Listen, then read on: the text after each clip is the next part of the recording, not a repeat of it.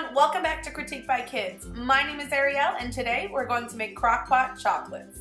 To make this, you're going to need 3 cups of white chocolate chips, 3 cups of semi-sweet chocolate chips, 2 cups salted peanuts, 1 cup sliced almonds, 1 4 ounce German sweet chocolate bar, 3 cups Reese's peanut butter chips, a spatula, some parchment paper or cupcake papers, and of course a crock pot.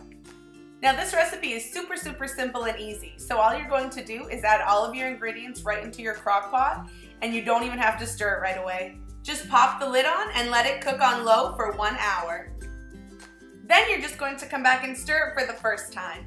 And after that, you're just gonna pop the lid back on, let it cook for one more hour, but this time you're gonna stir it every 15 minutes, just so that you can make sure that the chocolate isn't seizing up in the process. So as you can see, I decided to use the paper cups instead of the parchment paper. But what I'm doing is I'm just using that small ice cream scoop to make sure that I can get kind of uniform sizes with the mixture so that everybody can get somewhat the same amount. And then I did have some mixture left over once I ran out of the paper cups, so I just went ahead and added some more mixture to about half until all my mixture was gone.